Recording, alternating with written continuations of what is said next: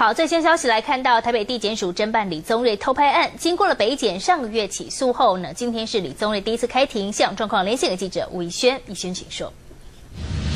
还有直播各位观众，富少李宗瑞呢，在今天是第一次来开庭，经过四个月的羁押哦，他的身形呢是相当的消瘦，而且呢和以前富少的样子情况是差非常的多。那么由于呢这个整起案件呢是涉嫌了有六十名以上的女子呢是。